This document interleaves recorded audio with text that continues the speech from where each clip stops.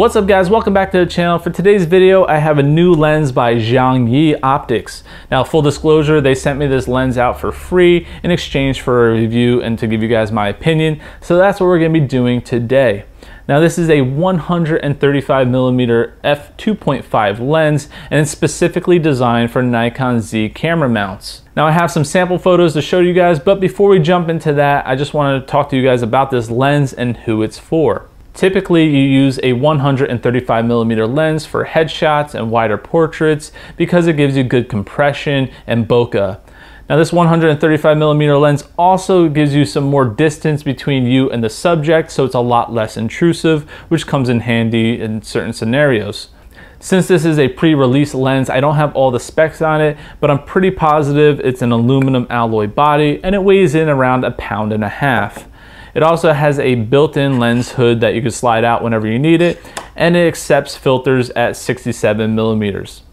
Now this is a manual focus lens and it's one of its biggest drawbacks, especially if you're dealing with moving subjects. So for example, I was photographing my dog and I definitely had my fair share of misses before I finally nailed the shot.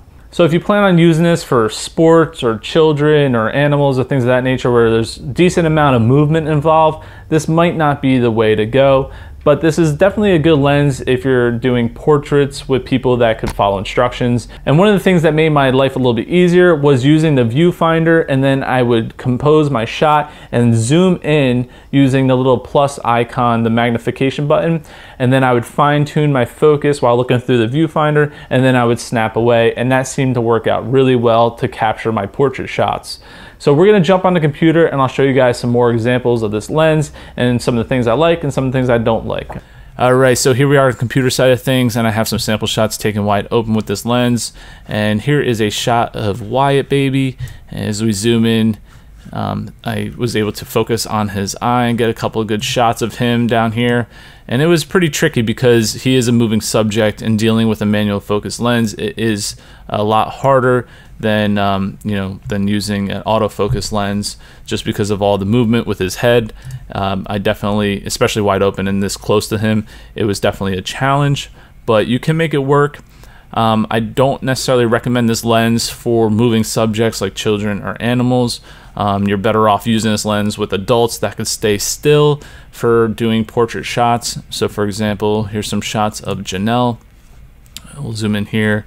I was able to uh, get my composition, and then I zoomed in with the back of my uh, view when I was looking through the viewfinder, and just made sure I got the focus, you know, on her arm and close to her eye as this loads in right here. And this again, this is wide open, ISO 180, 1 800th of a second at 135 millimeters, and it has decent bokeh. Again, we can see here in the background, and here's some more shots of her just goofing around and these are just raw shots, so we could apply a filter to them, make them pop a little bit more. But you get the idea, it's a decent portrait lens for probably a fraction of the cost. When they release the Nikon version of this lens, I would imagine it's going to be a couple grand, and this will definitely not be that high of a price tag. Now you could also use this for some landscape shots. I was in Acadia National Park and I snapped a few landscape shots here. Um, no editing was applied. I just brightened it up because I was a little underexposed before. But this was taken at f8. I was testing the corner to corner sharpness when stopped down. So let's zoom in here. And you can see um, once you have your focus dialed in that you get good corner to corner sharpness. Typically between f5, 6 to f11 is your sweet spot. That's what I've noticed. Um, I also took some shots into the sun, which uh, doesn't really handle flare too well, but uh, you know this is an extreme example. Uh, if we look at this series of photos down here, you can see the vignetting at 2.5, and here's at 2.8, and it starts to go away around f4, then gets better at f5, 6. Now, the one thing I noticed that was kind of strange with this lens on really bright days is this like ghosting haze in the middle of the lens when I stopped it down. So here is at 2.5 and here's at f8. See this uh, hazy ghosting in the middle here? I think that's because the lens hood needs to come out a little bit further. I kind of mitigated this when I put my hand past the lens hood. Same thing, I shot this at f8 and so that ghosting went away. Um, it's still obviously a little hazy. I mean, that's easy to fix with, um, you know, by changing these adjustments here and adding dehaze, I can make this look a lot better. But in the middle here, it definitely has a lighter part, and I believe that's from the lens hood. I did make Zhongyi Optics aware of this, so maybe they could fix it in the future moving forward. But um, that's just something to take in consideration if you're planning on using this for landscapes on bright days. Uh, cloudy days, it doesn't seem to be as much of a problem.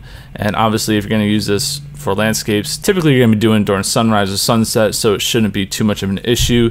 I would expect most people that get a 135 uh, f2.5 lens, their primary use is going to be for portraits. So this really shouldn't deter too many people from getting this lens. Let's jump over to Photoshop and I'll show you guys some sharpness tests that I did with this lens.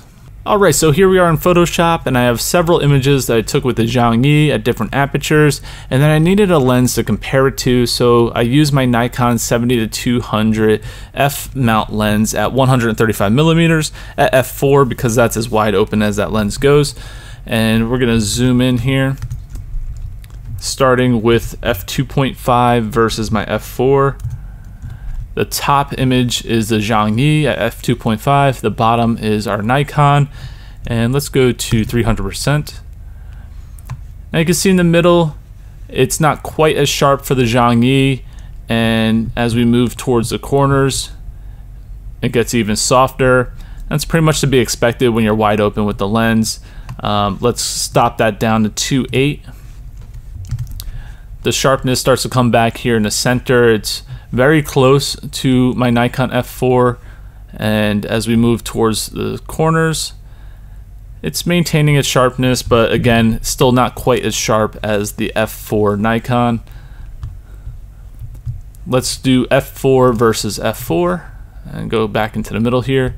And we can see that haze starting to creep in as well in the middle. But it looks like as far as sharpness goes I'm at 400% and it's really hard to tell a difference here Let's go over to the corners. Uh, yeah, they look almost identical. Um, hard to really pick a winner. The, the leaves look a little bit sharper on the Zhongyi towards the corners here versus down here. Uh, let's go to the other side really fast. So in this corner we have this tree yeah, maybe a hair sharper with the Zhongyi, but very close. Really hard to tell. So let's go back to the middle here and go with our 5-6. At 5-6, I have to give the sharpness to the Zhongyi, especially when we go towards the corners here. You can really see the difference. So look at these leaves up here versus down here. They're definitely softer on the Nikon jump over to this side, use this tree. Yeah, it's not by much, but it's definitely sharper with the Zhongyi as we stop it down. Now again, I don't think you're going to buy this lens to stop it down for landscape photography. I think most people are going to purchase this to do portraits for weddings or headshots or um, you know engagement shoots, things of that nature. I think that's what this lens is going to be great for. Um, so I'm not too concerned about that haze that's starting to develop here in the middle on bright days. It's not an issue when you're shooting wide open. So if you're shooting at like f2.5 or f2.8, that um, hazy middle like ghosting thing, it's really not an issue wide open. It only it seems to be doing it when you stop it down. And as I was saying before, maybe they could elongate the um, lens hood to mitigate that, but that's something that has to be uh, addressed by Zhang Zhongyi Optics. But overall, I think the lens is pretty decent. Um, it has its shortcomings that again you're going to have to weigh out the pros and cons of the cost savings and you know dealing with a manual focus lens versus uh, paying for a really expensive lens that has autofocus but you know, if you don't really use it that much, is it really worth that money? So that's just something to take in consideration. So definitely check out the new Zhongyi optics lens for the Nikon Z mount cameras and uh, hopefully they give me a link for you guys to share. All right, so that's it for this video. Hopefully it helps you guys out. Take care. Bye bye.